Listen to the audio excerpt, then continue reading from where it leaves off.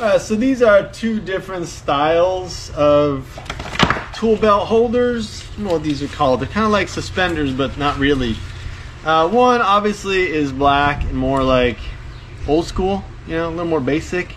It's got leather on the bottom for your loops. So you would run this through your tool belt. Or if you have hooks on your tool belt, you just jettison these things and you hook them on.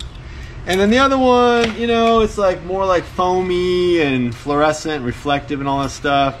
It's got a pocket over here. I keep my whistle in it. I use these for tree climbing. Uh, you could put a maybe a small phone in there. I don't know.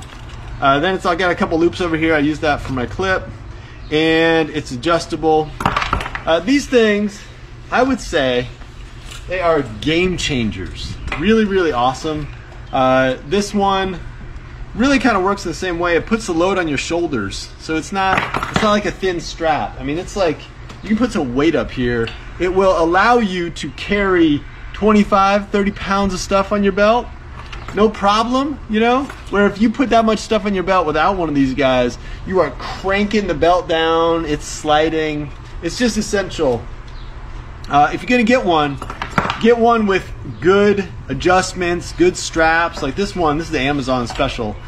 I mean, you know, it's not going to be a quick adjustment, but when you get get it dialed in, it's not going to move on you. That's what you want. You want it locked down, like totally locked down and dialed in.